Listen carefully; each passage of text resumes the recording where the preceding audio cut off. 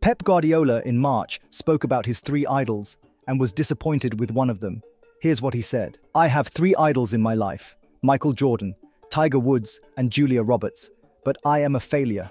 Julia Roberts came to England a few years ago, in the period when Manchester United were not good, we were better, and she came to Manchester United. But guess what? Pep Guardiola finally gets recognition from his favourite actress Julia Roberts after winning the Champions League with Man City. She has posted him on her Instagram, congratulating him. He really has ticked every box in life now.